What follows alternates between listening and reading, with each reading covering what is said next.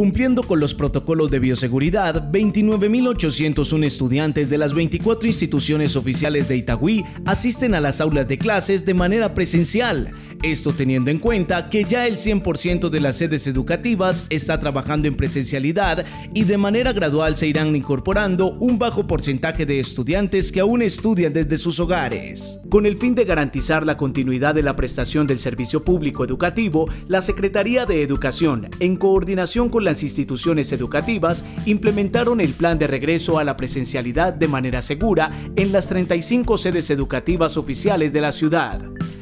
Cada institución educativa aplica estrictamente sus protocolos de bioseguridad en donde son determinantes el lavado de manos, el distanciamiento físico, el uso correcto del tapabocas, la adecuada ventilación y el fomento del autocuidado y corresponsabilidad en los ámbitos laboral, escolar, social y familiar. Gracias a la labor que ha realizado la Secretaría de Educación y las instituciones educativas, el plan de regreso a las aulas ha sido destacado por el Ministerio de Educación como un ejemplo en el país Además, ha contado con el acompañamiento y visitas a los establecimientos educativos por parte de la personería municipal y de los sindicatos, que han corroborado las garantías de bioseguridad en estos espacios. Todo lo anterior ha sido posible gracias a la inversión oportuna de los recursos aportados por el Ministerio de Educación y la Administración Municipal, que hoy superan los 5 mil millones de pesos.